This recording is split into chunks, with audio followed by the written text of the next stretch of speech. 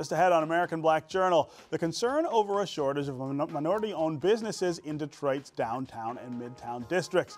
We'll look at new efforts to include African American companies in the city's comeback. Plus, we'll get expert financial and marketing advice for small minority businesses, and we'll show you how food entrepreneurs are getting a helping hand from Eastern Market. Stay right there. American Black Journal starts right now. At DTE Energy, we believe that we have a greater responsibility. We believe that being part of a community means being involved in the fabric of that community, investing time, effort, and resources in the communities we serve. DTE Energy Foundation is a proud sponsor of American Black Journal.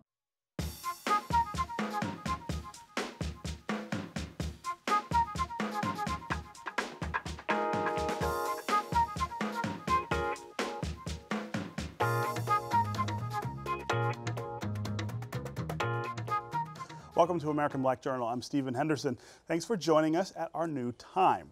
It's been nearly eight months since Detroit emerged from bankruptcy and began its real rebirth. However, there's concern over the declining number of black owned businesses taking part in that comeback. Some longtime minority business owners say they're being forced out of downtown and midtown through evictions and, and foreclosures. Detroit City Councilwoman Mary Sheffield has issued a resolution calling for policies that promote the inclusion of small minority businesses in Detroit's revitalization. Joining me now to talk about it is Councilmember Sheffield, along with Darnell Small, who's the owner of the Tangerine Lounge, and Eric Williams, who's the director of the Wayne State Law Center. Welcome to American Black Thank Journal. You. Thank you for having, having so, us. So, Councilwoman, I want to start with you okay. and your resolution. Yes. What, what, does it say, and what do you think uh, it, it, might accomplish? So, um, as I stated before, Council speaks the resolution, and, and we've talked a lot about um, the lack of minority businesses within the city of Detroit as we begin the revitalization of the city. So, I thought it was important for us to speak the resolution and let the administration know that this is an issue that we're serious about and that we can no longer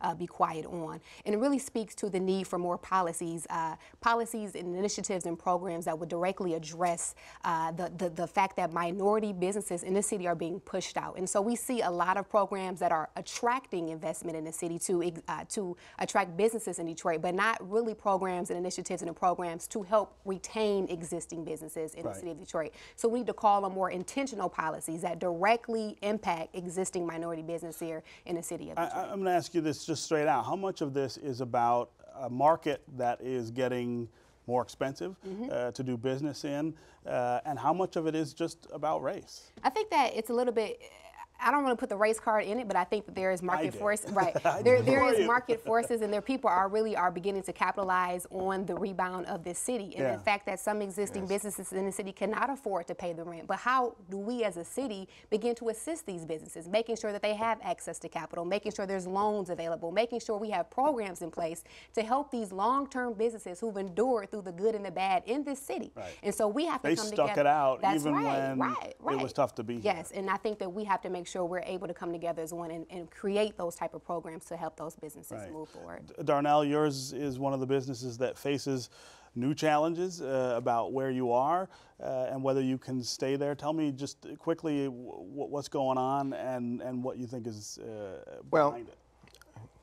Councilwoman just hit hit a home run. Everything she said, she just stole it you know, right out of my head. That's right. You got nothing else.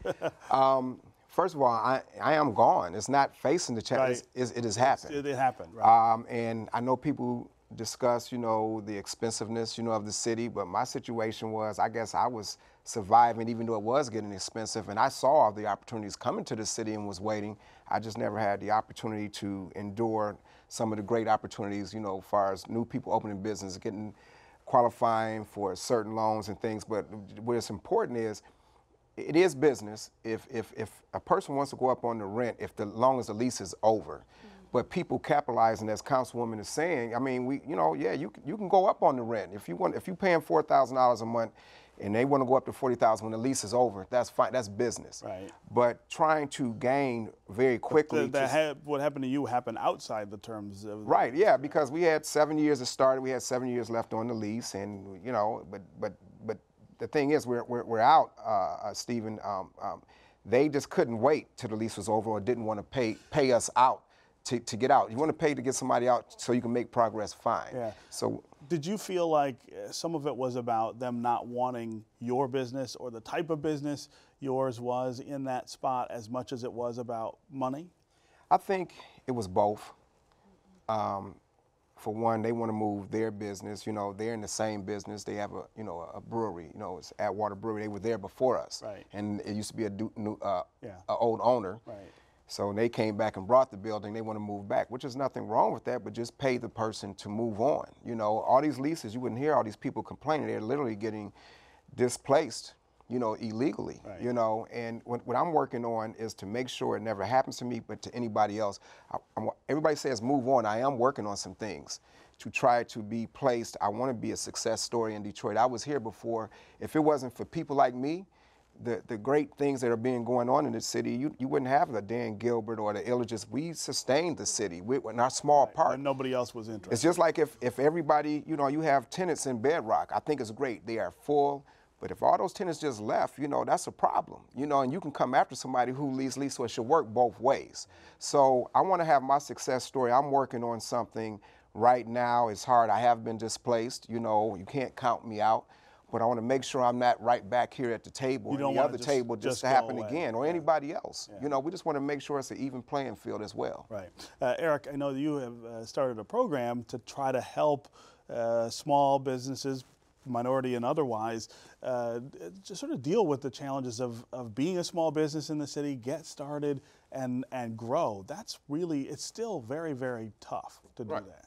No, it, it certainly is, and part of uh, part of the problem is, of course, capitalization. So Right. small businesses in the city face real capitalization problems, in part because uh, if you're starting a small business, your biggest asset that you're going to use as collateral is your home, and Yeah, so of course, right. uh, when when you're comparing businesses started by people who live in the city versus people who live outside in the suburbs, You Got real disparity. yeah, there's a real disparity. So the sub- suburban small businesses automatically have an advantage. They have That's access to more, more capital. Right, sim- simply by virtue of living outside the city, right? Nothing else. Um, the other problem, of course, is that if you're um, living in a community where you don't have a lot of uh, people in, in your immediate circle who are, you know, lawyers, who are accountants, who have previously run a business, who are familiar with how zoning and permitting operate, uh, you don't have that informal network, and you may not be aware of the formal network that would actually help you avoid making a lot of the prob- uh, committing a lot of the mistakes Right. that ultimately undermine a lot of small businesses. Yeah, yeah. And, we, and if you're going to change that, then you actually have to have policies in place to do that. You just simply can't talk about it. Right. I, I want to ask this question of, of all three of you. What could African American businesses have done while there was no one else in the city, which was true for a long time? Everyone else sort of abandoned us. Uh, what things could have been different that would have made it more, well, would have made it more secure? For black businesses to stay, we hear about ownership, right? Uh, if you own the building you're in, then you're not dealing with somebody who's uh, jacking up the rent or, or cutting you short on a lease. Uh, if the city is more focused on sustaining black businesses in general, they're in better shape so that when other businesses come in. What, what mistakes did we make inside the community that maybe we ought to, to correct now? Be- before we, I, I just want to say, I understand the, the ownership thing, but I'd, I'd like to address that right off the bat. Sure. Because when people talk about uh, black businesses wouldn't have been in this position if they owned the building, what you're saying is, you should have made what everyone else considered to be a really bad investment at that time. Right. And Nobody else wanted that, those buildings. You'd be fine now. And I, that's absurd. That's an And that's just that's, yeah, a, that's right. a non-starter as an argument, and you hear it time and time again. But I, I just think it's You, so that was not that was not a reasonable solution back then. is no, it, cer- it certainly wasn't. So. And it was hard to get closings in, in Detroit, to get people to finance people, you know, small To get- businesses. again, that They're considered high risk, or, or, or, or Detroit was a high risk, you Mm-hmm. know. So, um, I mean, a lot of people uh, who doing these great things, I mean, that's fine. I'm, I'm not here to stop progress, but you got to realize they got great opportunities by getting Right. the buildings for cheap because I guess maybe they can rehab them. But as he says, we, I, I get tired of hearing you should own. So America was built on contracts. In my situation, I'm not trying to drive it down the thing. I've never missed a month's rent. I've never been late. Uh-huh.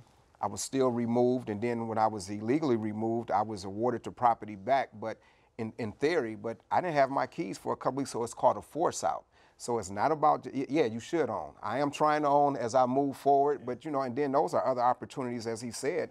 It's, it's not easy to say in Detroit you somebody's going to finance this or you know for this price. But if you're if you if you're paying a lease, that lease you're obligated to it. You can't break that lease. But it should work both ways. Yeah, yeah. So I would just touch Go- on go it ahead. and just say that in general, I think um, local businesses, if they had been better at strategic planning and, and really looking at long term, because we know that uh, Detroit was in a situation that it was in only for a short amount of time, Sure. and that we were going to eventually rebound, and so that they needed to probably plan a little bit better uh, for this revitalization that we're in, but then also make sure that we're holding our local government accountable Well, see, that's and what I was making sure that there are intentional again policies that are directly helping them for the rebound and revitalization of this city. How how how agile can city government even be though with restrictions like Prop 2, uh, the, the constitutional amendment that says you can't consider race in any sort of uh, government policies? What what can city government do to try to help black And? I'm thinking right now, we have uh, any ideas, we have all of these different programs that are being brought to us right now at council table. But Yeah. again, they are only for how do we attract businesses into the city. There is Right. not a program that has been put before me that says this is for how we can help shore up, existing right. businesses that have been here. And we need to have an intentional, again, program or policy or initiatives in place that it says this is for existing minority business to support them in sustaining this, the city of Detroit. what does the Duggan city. administration uh, say when you talk to them about They, this? They believe that some of the programs that are in place are helping businesses, but again, that's that's an argument that can be made. Yeah. And just really quick on that point, I'm hoping that those conversations we can be, begin to have now with this resolution and moving forward. We can't talk around it anymore. Right. We need to really direct Deal direct, with it, dire- for what it directly. Yes. sure. And, and us as business, I'm, I'm not of an organization. I am part of the businesses, you know, the, the everyday. Right. So if you want to call that an organization, we appreciate the, the council taking the position that they're taking because it's, it's, it can't keep being overlooked. Right. And, and, and again, we're not saying, ah, these people are coming in the city. We, we, we, we're fine with that. We just want to be elevated. we wanna- want to elevate right. too. That's all. It, it needs And to that's be. the- that's the challenge We want the the same opportunities. We, we want to grow. We want to make people proud of us too. And we've, we've been here knowing, hey, it's going to come back. Believe in it. When people abandon it, But we don't lock in it. us out. Yeah, and we, we believed in it before all these things have happened. We, we just, just hang in there. We tell each other, it's, hey, come to Detroit. You know, everybody goes to, to the other counties like Somerset, you know, and Troy and Birmingham, but we, we believe in Detroit. Stay so in we Detroit, just, as, as Councilwoman said, we just felt that we should be elevated at the same time as that. I wish uh, we could talk about this for 21 minutes, but of course, uh, we only have 30 minutes in the show, so we're out of time. Thank you all for Thank being you, here. Thank you Stephen. for. Just ahead on American Black Journal, we'll continue our conversation about minority owned businesses with two experts on growth and financing. That's right after this look at some important moments in Detroit's black history. I'm Ken Coleman with a look back at African American life in Detroit. This week in 1973, Innervisions by Stevie Wonder was released on Motown Records. In 1976, City Council approved a resolution to change 12th Street to Rosa Parks Boulevard. And in 1984, Bishop P.A. Brooks was elected to serve on the Church of God in Christ board. These are significant events this week in Detroit's Black history, taken from the book On This Day African American Life in Detroit. Earlier this year, during National Small Business Week, two experts joined me on the show to talk about the challenges facing minority business owners and how best to overcome them. At the top of the list, funding and marketing. Here's a portion of my interview with Nicole Farmer of Lifeline Business Consulting Services and Mark Lee of the Lee Group. Detroit has always been a city of innovators. And what I'm noticing is that more and more people want to certainly land here and do things, but I think in the same vein, uh, the challenges that we have are very similar. Uh, the number one challenge for all businesses, particularly amongst uh, women and minority-owned businesses, access to capital. Yeah. And that is something that we want to be able to articulate on May the 14th. Is there are different types of resources out there for you, both the traditional and the non-traditional. So some of the challenges that you may see at large are certainly very similar when it comes to women and minority-owned businesses as well. And access to capital, uh, as Mark says, you've got traditional and non-traditional uh, avenues to, to try to take care of that problem. For minority and women-owned businesses, though, the non-traditional paths are the ones that seem to be growing and uh, sort of expanding, and now make it almost so that you don't need that traditional lending sector. It's right? actually a lot easier. I mean, you have different organizations like Kiva, for instance. You need that $5,000 seed, um, and you just need someone like myself to back you. We're there for you just to get you launched so that you can um, start to test your product to see who likes it. A lot of times we are not feeling very confident about our business either, and so we really need to start building up our confidence and testing our product with the customers customers that we think that would like to purchase our products. And where is the capital coming for these non-traditional uh, sources? Where's that coming from? Well, what I love right now is that there's so many different foundations that are coming together and creating this funding ecosystem. And then um, one uh, one of our uh, our funders are uh, is actually the Detroit Micro Enterprise Fund, uh, the Detroit Development Fund with the, the Michigan the Women's Development Fund. Fund, right? Yeah. Yes, with the Michigan Women's Foundation, and Huntington Bank has actually provided a $25 million loan fund uh -huh. for us so that we can start to get this money out into the streets, so we can start building our neighborhoods and seeing these entrepreneurs flourish in our neighborhoods. Yeah, I mean, I talked about the number of minority and women-owned businesses in the in the open. If you just hear those numbers, you would think, well, the city should, the city's economy should be in much better shape and people should have more jobs and more money in their pockets. What's the what's the disconnect there? I think the disconnect, though, while we have a, a significant number of minority-owned businesses in the city of Detroit, um, people still want to get the messaging out there. The awareness levels of those businesses are, are, strong, but they need to become stronger. I think the other challenge that you will see in Detroit, a lot of businesses across all veins of business still fail there's a lack of success with respect within 18 months. So while the numbers may be high, there's a great level of churn. Right. And we got to figure out the best way to get the information in their hands so they can become sustainable and successful over time. And what's the, what's the main reason that uh, these businesses fail? You know, this, it's strategic planning. Uh, I, I'm always an advocate. If you have an idea, I have a lot of people, Steve, who come to me and approach me and say, Mark, I have a great idea. My first question is, what's your plan? What's your plan? yeah, and unless you have that plan, you're not going to be always successful. And I think what you have that plan, it lays a foundation, a direction for you to become successful long term. Right. And uh, in your consulting business, you, you probably see this all the time. Exactly. People just not prepared. They're not prepared and they don't have a team. And so we actually provide accountants for them. We provide lawyers for, for them because a lot of times they cannot technically afford. They don't have that. Sure. Right. They don't have that. And so now they have not a clue even how to spell the word financial, much less understand what a P&L statement is. Right. And so now giving them the tools in their toolbox so that they can fix that car in the proper way, that's what we love to do. Right. Right. Uh, I want to talk more generally about Detroit. We are seeing this incredible uh, new private investment of capital yes. in, in certain areas in downtown yes. and in midtown. Uh, it's starting to trickle out into the neighborhoods, I think, slowly. I think in the next five years we'll see that, that happen. One of the things that people are really concerned with is how many uh, minority and women-owned businesses are getting to participate uh, in that in that rebirth. Uh, I live downtown. Uh, I, I, notice as much as anybody uh, that that dearth of of people who look like us, uh, who seem to be participating. Uh, what's the answer to that? You know, I, I, think that we have to somehow get the message out there across the entire city. Detroit's 139 square miles. Mm -hmm. And yes, you're right, there's a lot of investment, a lot of things happening downtown and midtown. Nothing is wrong with that. I don't want to be, I don't want to misconstrue. but I think the, the challenge again, Stephen, is how do we get that information into the neighborhoods?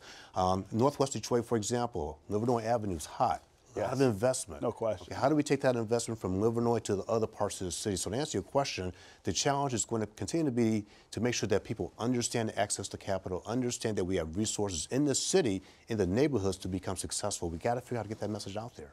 Uh, yeah, go ahead. Well, actually, with uh, my consulting firm Lifeline, we've actually started to go into the churches. Okay. So well, going into the churches and now providing the one-on-one coaching, providing the consulting, providing these tools so that everyone can get on board right. and understand what the funding is. And so we're actually doing different pop-ups from east, west, north, and south so that everyone can get on board. Right. And so once you start to see that your next door neighbor got some funding, when you start seeing yeah. your next door neighbor's sweet potato pie is now being placed at different organizations and they're getting great hot um, connections, sure. then now you're ready to jump on board um, the next year. So it's really about confidence. Um, we really don't have the confidence in our city because we've been so depressed yeah, for right. so long. Right. And so once we start seeing our neighbor taking off, then I think that we'll start seeing more individuals taking off as well in the neighborhoods. I mean, it sounds from both of you like uh,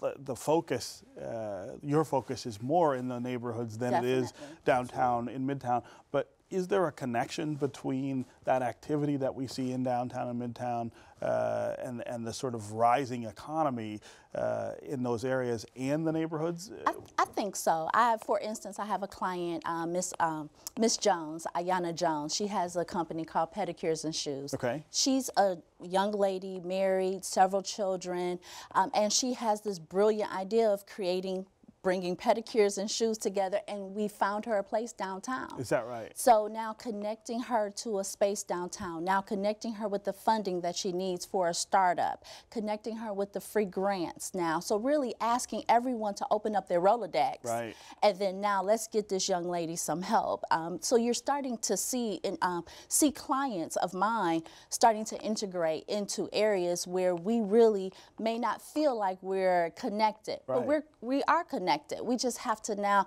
have the confidence again to go after our dreams yeah. and turn them into reality. Yeah. And I, I, think she makes a good point. You know, um, the grassroots really is important. People think that uh, you have to have a significant marketing budget to start to get your messaging out there. Sure. You know, think about it, for example. Um, 35, 32,000 businesses, let's assume they uh, employ five to 10 people. That's 150 That's to 300,000 people, people employed. Right. Yeah. That's grassroots. If we can get them talking about their businesses, if we can get them going to their neighborhoods, if we can get them using social media, other forms of marketing approaches, if you will, your marketing budget uh, does not have to be that significant. Sure. But the challenge is, is servicing your customer, making sure you're getting your messaging out there, and having people talk about your business. Right. Finally today, Detroit's food entrepreneurs are getting some much needed assistance in growing their businesses. Thanks to a state grant, Eastern Market is helping business owners in the food industry get access to the equipment and ingredients they need to create their products. The program is called Detroit Kitchen Connect. In June 2013, the Eastern Market Corporation received a $1 million grant as part of Governor Rick Snyder's Michigan Community Revitalization Program. Eastern Market used the grant to build Detroit Kitchen Connect and renovate one of the market's sheds. Detroit Kitchen Connect is a program that helps food entrepreneurs overcome the high cost of setting up a commercial kitchen by providing access to commercial licensed kitchen facilities and equipment. Today, Eastern Market and Detroit Kitchen Connect serve as two examples of Detroit's ongoing comeback. There's been an explosion of food entrepreneurs in Detroit, and not just Detroit, but also our region. And that's because this is a location where folks have been able to find support. No one thought that Detroit had any really great anything for a while. We were, we were the, the city on the downslide. We've gone through bankruptcy. Because it was forgotten, people were able to take chances here that they couldn't have taken in other locations they were really able to start their businesses and grow.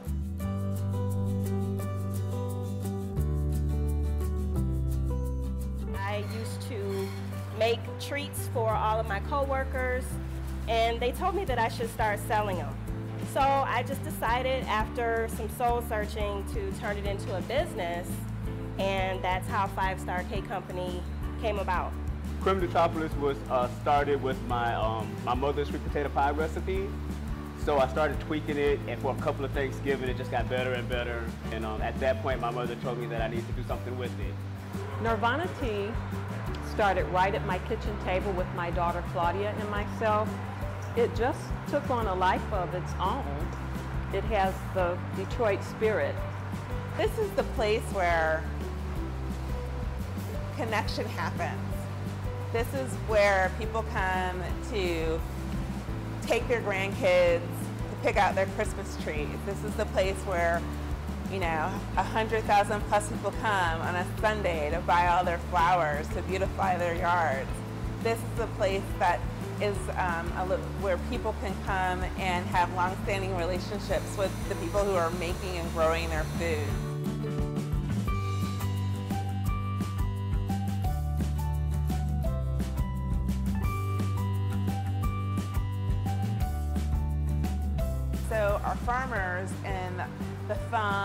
Other parts of the state are coming here during growing season to sell their produce. So now we have entrepreneurs who I've been fortunate to work with who are making their food products by buying the local fruits and vegetables from our farmers, turning those into value-added products, and then selling those at the market, some of them, and then also in some of our smaller local retail um, places. And so it's just, it's really cyclical.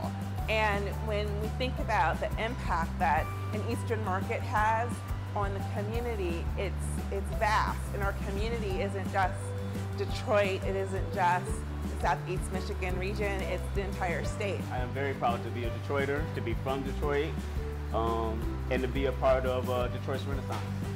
I noticed a lot of the people that have gone away, that spirit of Detroit is still in them, and they're all coming back.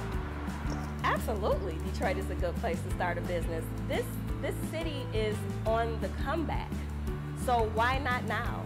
This is the perfect opportunity. There are, there are grants, there are a plethora of resources to get information to help you along the way. It's the best time to start a business because there are so many people who are willing to help you get off the ground and get going. Absolutely. Detroit is the most awesome place to start a business. That's our program for today. Thanks for watching. You can get more information about our guests at AmericanBlackJournal.org. And as always, you can connect with us on Facebook and on Twitter. Plus, you can also hear our program on WDET 1019 FM. We'll see you next time on American Black Journal.